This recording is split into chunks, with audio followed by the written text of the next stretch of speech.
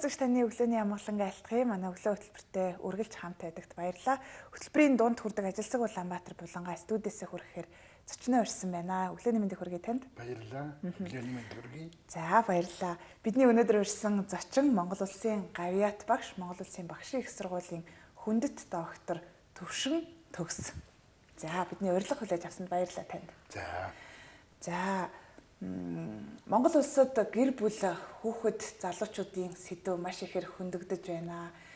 Тэдний маань бас дархлаа сайн байж нийгэм, эрүүл нийгэм бүтээгдэх юм болов гэсэн бодолтой байна л да. Тэгэхээр нийслэлийн гэр бүл залуучуудын хөгжлийн газраас манай өглөө хөтөлбөртэй бас хамтарч ажиллаж байгаагийн хувьд одоо Ахмад ажилтан за зөвлөх таныг бид зочноор урьсыг.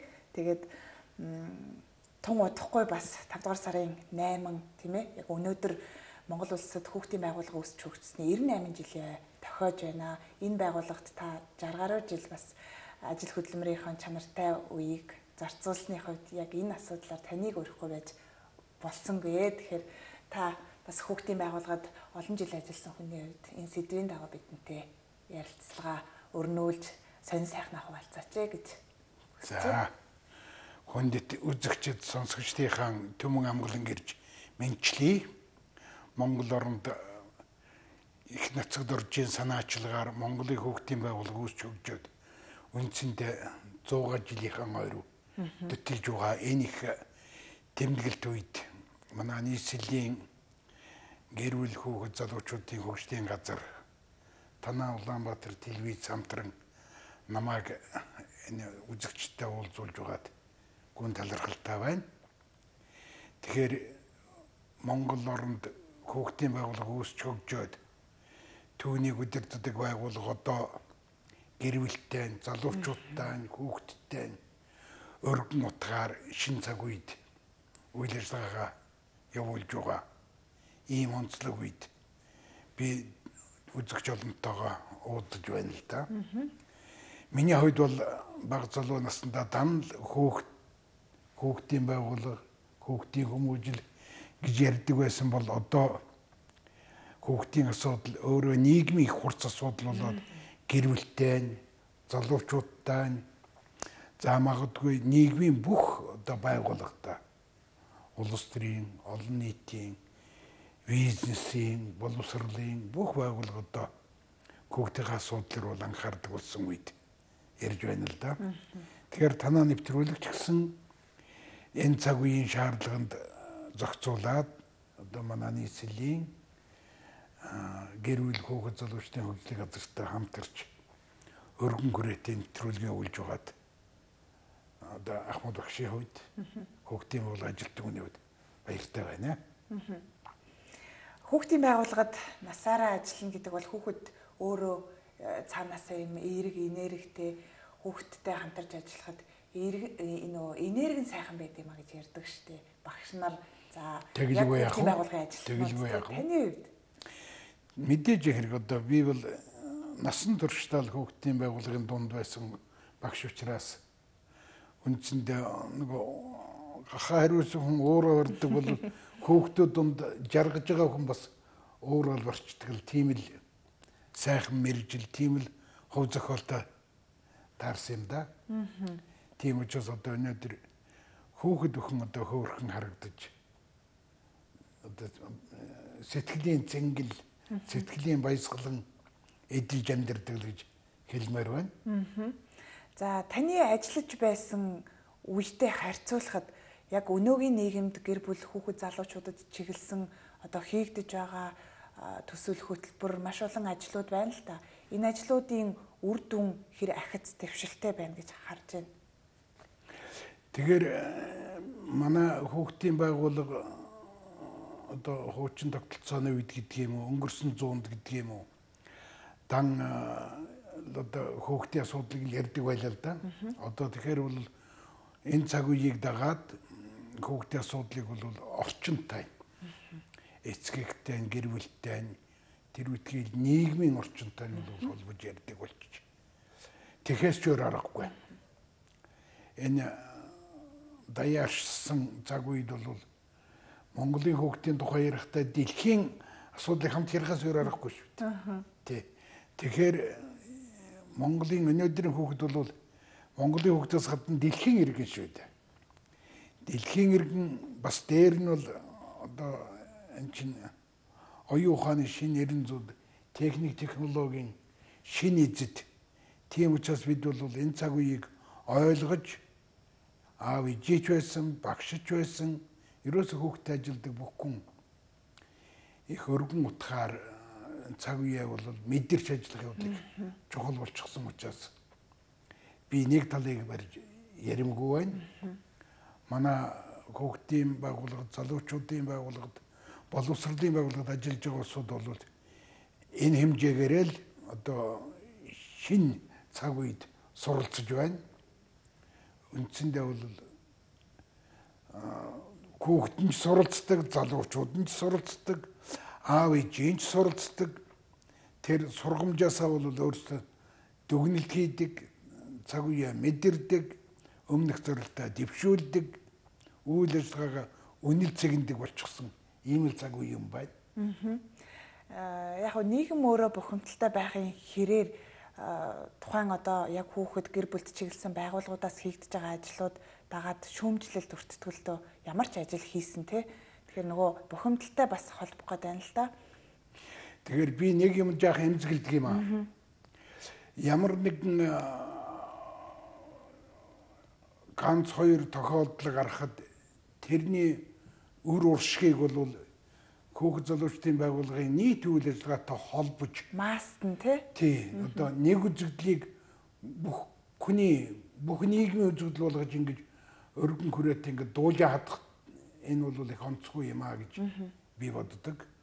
Үндсэндээ бол бид олонхийнхаа хүйзээ олонхийнхаа эрх ашигыг бол нэгдүгээр тавьж яг уу ноцтой гарч ирж байгаа нэг үзэгдэл хүмүүсийн одоо сэтгэл санаанд бол таагүй нэг явдал. Аль эсвэл одоо хөөхд залуучуудад хайхрамжгүй хандсан нэг хүний бурууг одоо бүх нийгмийн юм шиг ингэж ярих явдал бол тийм. Таатай биш.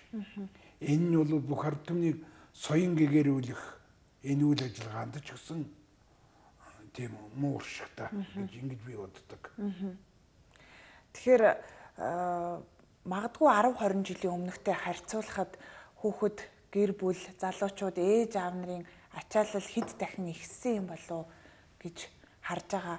Яагаад тэгэхээр зайлшгүй зөвхөн нөгөө ерөнхий боловсролын сургуульд бол хүүхэд хичээлэл үзэх ёстой.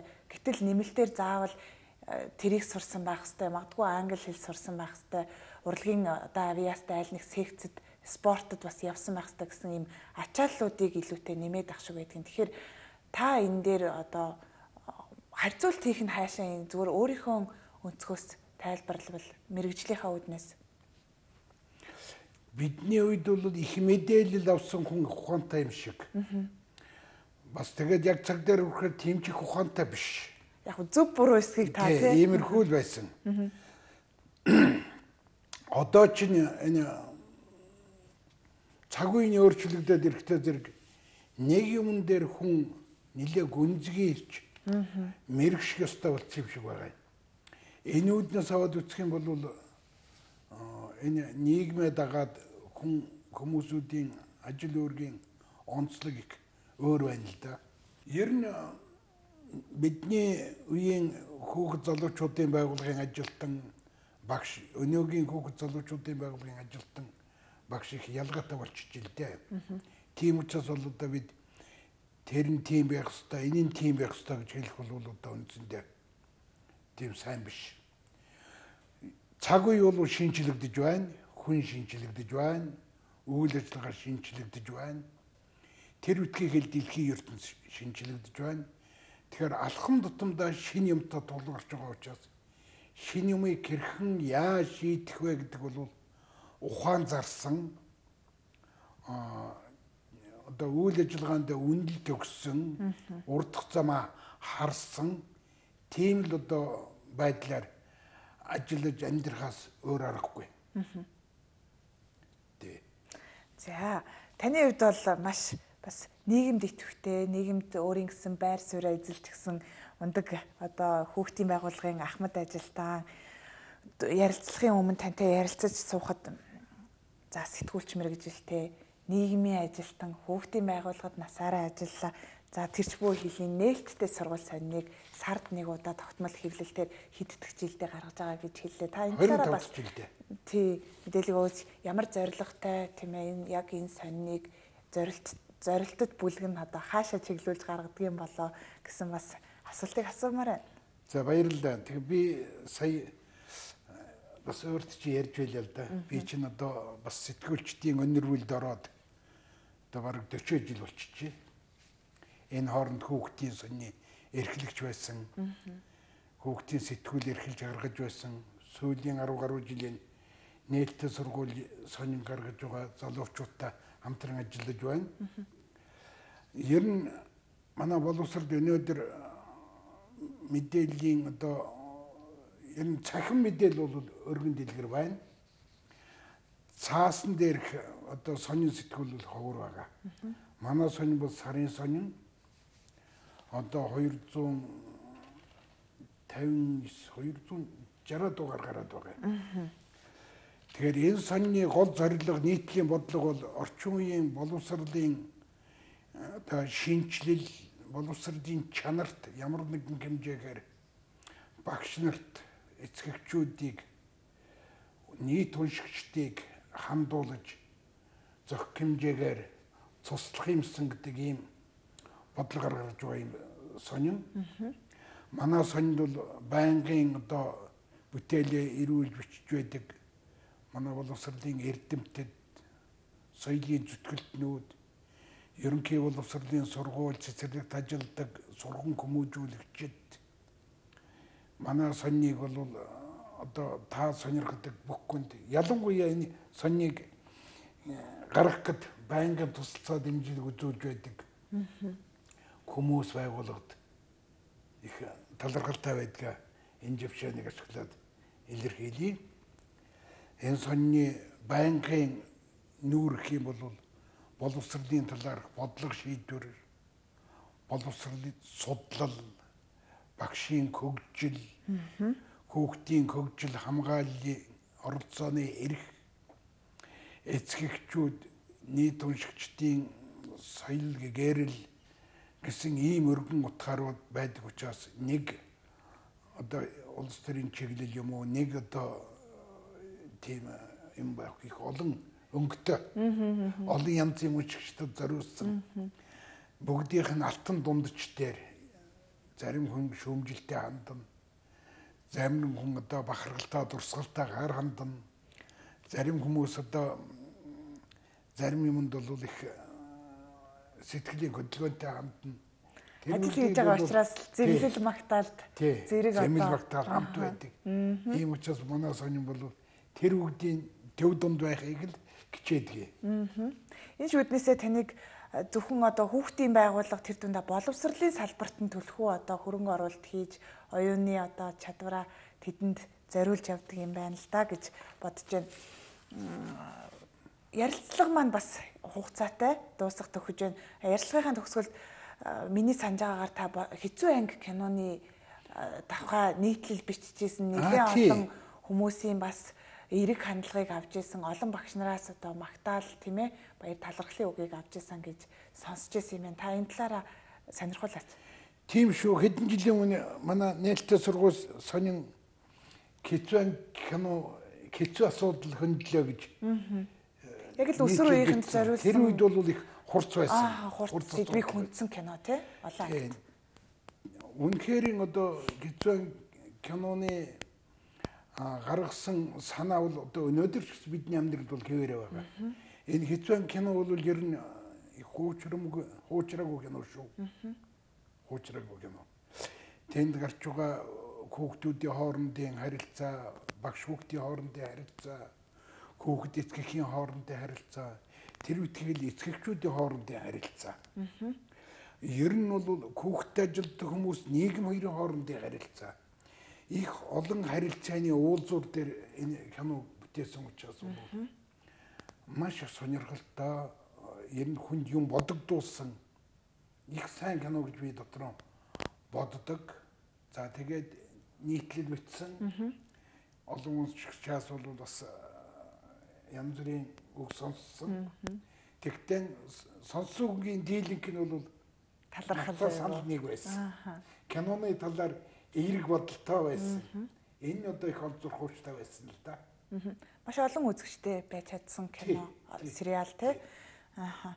Хүүхэд өөрөө нөгөө гэгэн ертөнц гэхдээ тэн донд нөгөө төлөвшлийг олохдоо олон одоо тал руу хөрвөж эргэж орж чаддаг л та гисэн хэдий ч одоо нөгөө эрсдэлт олон зан үйлээс хол байж л чадах юм бол хүүхэд өөрөө төлөвшөөд том бие хүн болж чаддгаа гэж бас ярилцлагын төгсгөлд хэлий. Та ч гэсэн хүүхэд гэр бүлүүдэд нэг сайхан зүйлийг өрөөгөөд уриалаад хоёлаа ярилцлага сондөрлөөлээ. Тэгээ ерөөхөөсөө илүү санамжуулгаж хэлмээр байна. За.